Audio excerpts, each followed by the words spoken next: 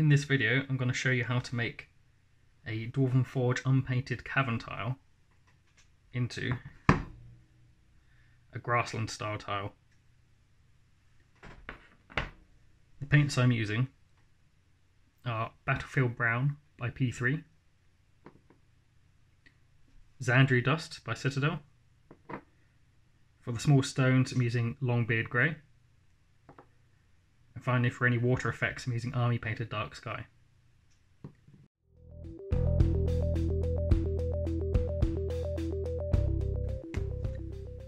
So you want to get a bit of the Battlefield Brown onto your brush. Make sure you get most of it off.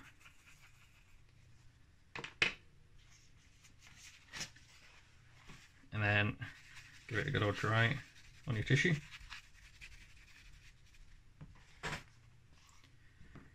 Uh, and this is the, the base colour for it. So you want to put this on pretty thick. So just give it a good old flick around.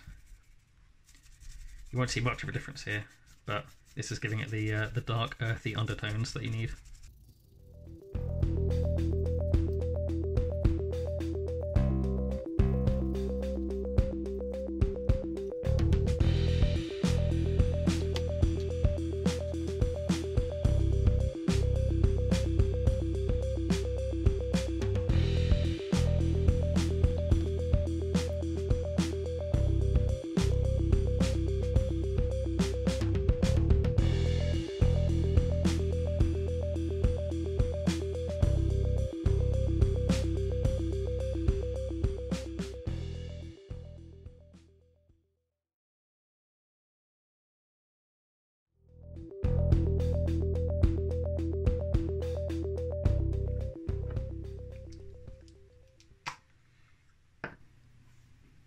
So now you want to get a bit of the Zandri dust.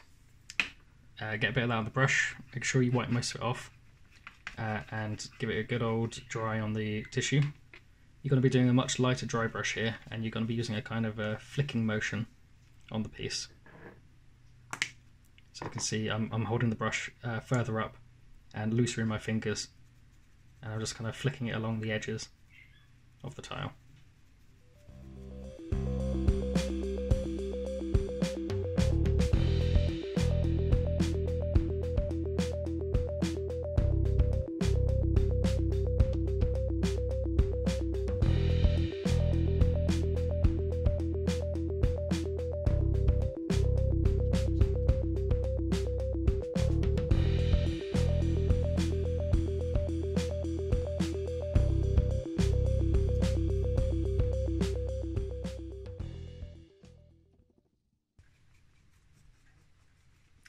See I'm avoiding the uh, the rocks here in the little recess.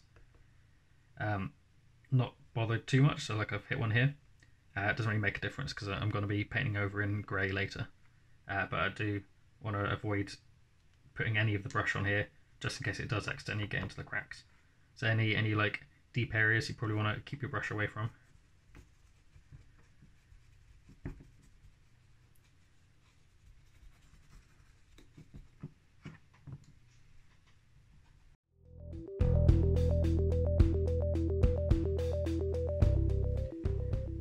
That's enough for the main base layers.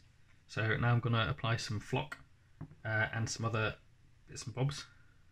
Uh, so on this one I've got some flowers, uh, some bits of brush, and this is 2mm spring static flock.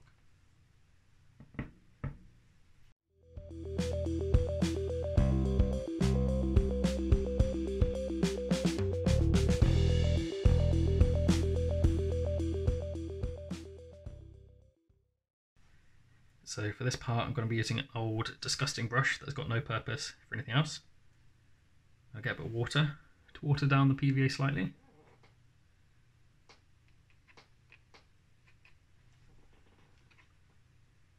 A bit more that.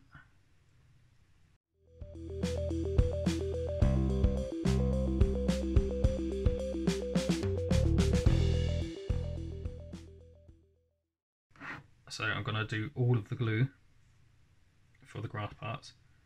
I'm going to put it kind of in the middle of each of these tile little flagstones. And I don't want any of the glue to get into the cracks because otherwise you'll have grass poking out in between. And we want to keep the uh, the tiles quite defined. So if we're doing grid-based movement like in D&D, we can still move the miniature around on the tiles.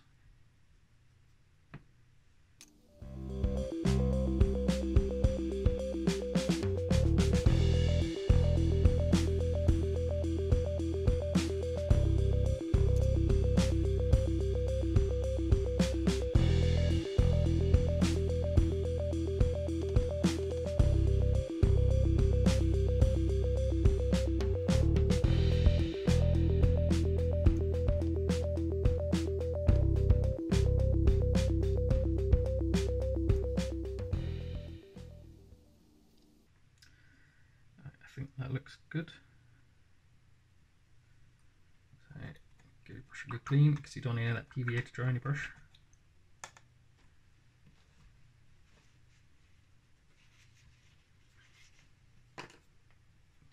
Alright, so now I'm just gonna take little pinches of the static grass. Just gonna sprinkle it on. If you miss stuff, get it all over your workstation, that's fine. Because you can just scoop it back into the box later.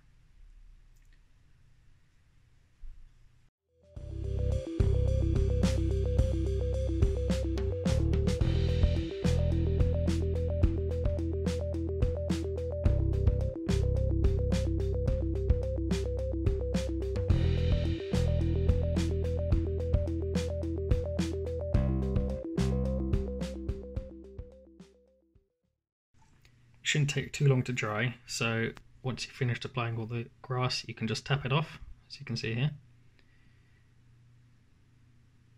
and it should mostly stick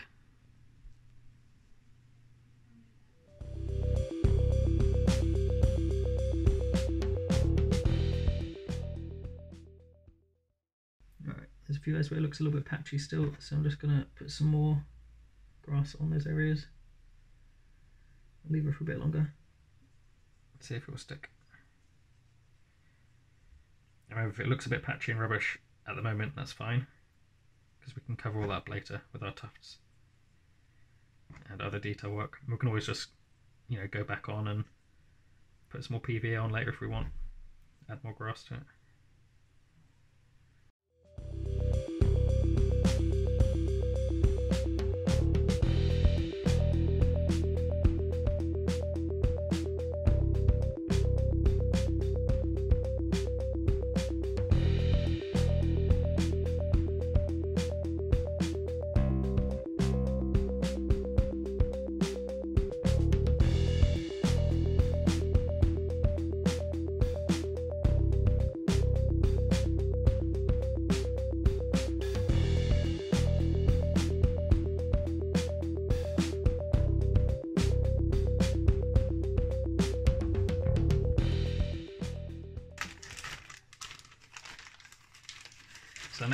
Is to select a few tufts that we want to put around the place. Work out where we're going to put them.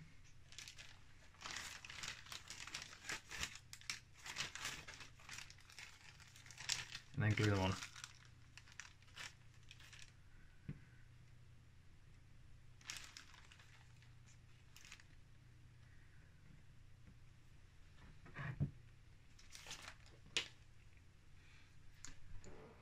Right, so I'm thinking that looks like a good place to put one. Um, probably over there as well, and there. Uh, and I think I might put one in the middle of one of these big tiles as well, just to break them up a bit. We don't want too much of an area which is just flat and one sort of texture because it doesn't look very natural then. So we get our old knackered brush again. Get a blob of our PVA. And we slap it onto where we want to put those tufts.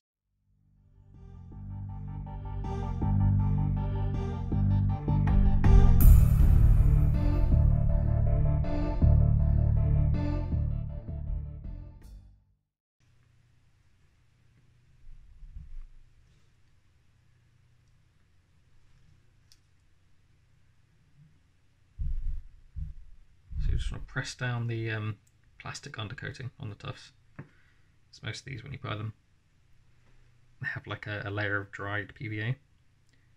Uh, and this is obviously where it attaches to, so you just need to make sure that the, the surface here properly connects with the, the glue that you've got.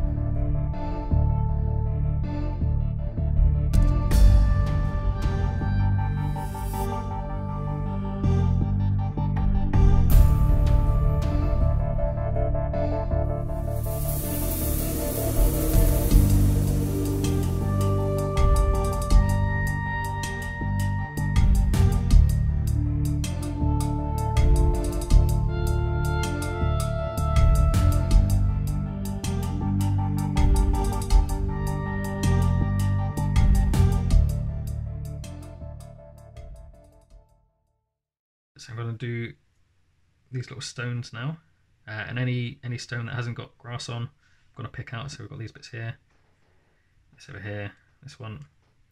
Do these ones here. I'm using Model Painter Small Dry Brush. Uh, it's pretty good for fine detail dry brushing.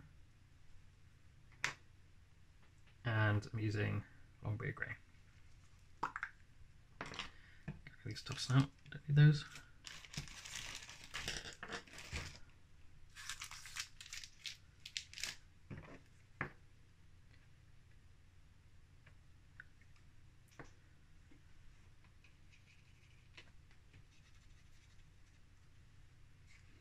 And once again, the same sort of kind of flicking motion as before, uh, but just in a more kind of concentrated area.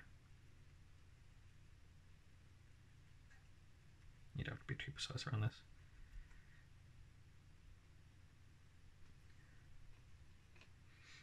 The good thing about doing nature tiles is any little mistakes you make just make it look better in a way because nature isn't particularly precise.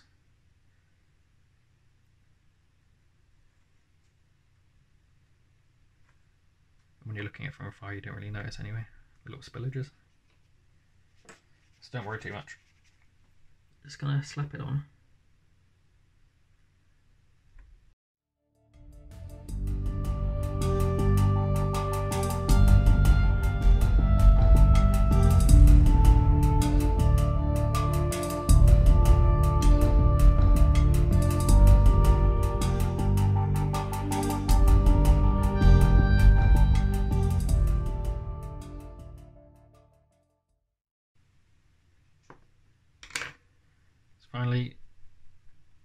To these pools. You don't have to do this. Obviously you could do these tiles without any water on, uh, but these big gaps are there, so I'm going to put something in them. Other suggestions, things to put on these, if you don't want them all to have water on the same area, which would look a bit weird, uh, you could put some of your tufts over the top of them. People won't even notice it then. Uh, or you could put some other bits and bobs. You could put like a skull in them, and make it look like a little crater when an explosion's gone off. Just try and get ways to uh, break up your tiles so when they're laid out next to each other it doesn't look like the same sort of thing.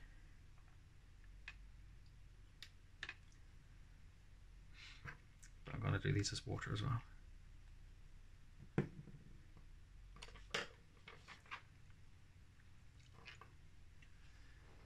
So the Army Painter paints do receive some criticism for being very, very thin.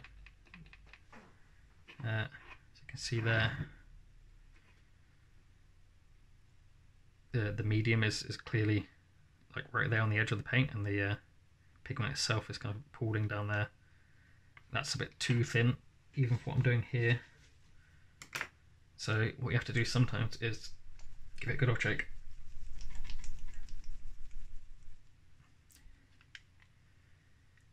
Squeeze a bit out and then the bit that you're actually going to use put it on a different part of your palette.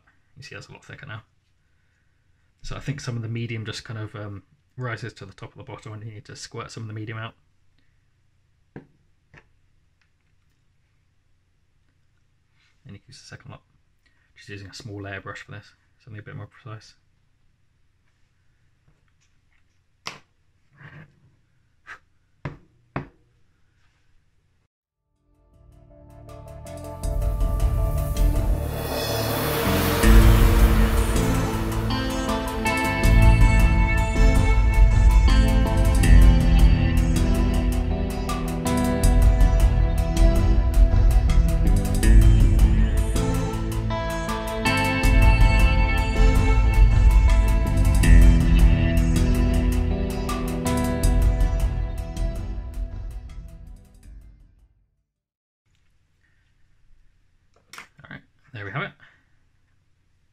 unfinished grassland tile using the Dwarven Forge cavern pieces.